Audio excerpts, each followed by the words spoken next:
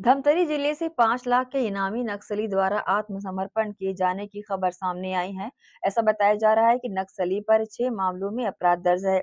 नक्सली ने धमतरी एसपी के सामने सरेंडर किया है। एसपी ने बताया कि इनामी नक्सली पर हत्या, मुठभेड़ और आईडी लगाने जैसे मामले दर्ज हैं। नक्सली मुकेश खोसा ने 2023 में माओवादी संगठन में शामिल होकर लगभग आठ महीने तक संगठन के लिए काम किया। इस दौरान वह कई हिंसक घटनाओं में शामिल रहा। जैसा आप लोगों को ज्ञात भी होगा कि लगातार हम माओवादी विरोधी अभियान चला रहे हैं और हमें अभी हाल ही में डंप भी मिलने में सफलता हुई, मिली थी। उससे पहले एक माओवादी भी मारा गया था। तो उसी क्रम में आज एक माओवादी ने आत्मसमर्पण किया है। तो जैसे आपको पता है, छत्तीसगढ़ शासन की आत्मसमर्पण और पुनर्वास नीति है। उससे प्रभावित होकर के और माओवादियों जो शोषण कर रहे हैं, उनकी खोखली विचारधारा है, उसका इस आदमी को बोध हुआ और उसने आकर के आज दिनांक हमारे समक्ष आत्मसमर्पण किया है। ये पाँच लाख का इनामी है इस पर शासन द्वारा पाँच लाख का इनाम घोषित है।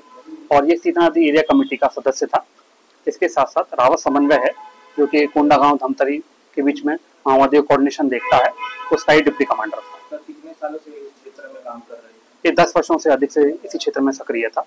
हाँ समर्पण ये पे ऑफ़िस में आकर के हाँ अभी बहुत सारे भी जो हमें भी इस प्रकार से प्रक्रिया में है जैसे हमें जानकारी मिलेगी आप समर्पण करेंगे तो आपको बताएँगे।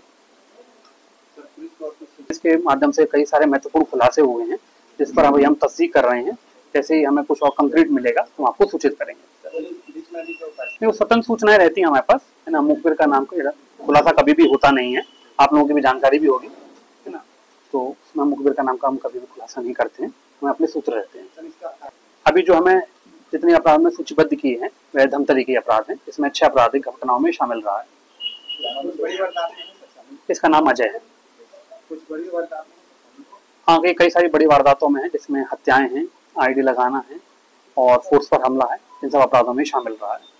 अभी उसी की हम सूचनाओं की तस्दीक कर रहे हैं, जैसे हमें एकदम क्लियर हो जाएगा, तब आपको बताएँगे।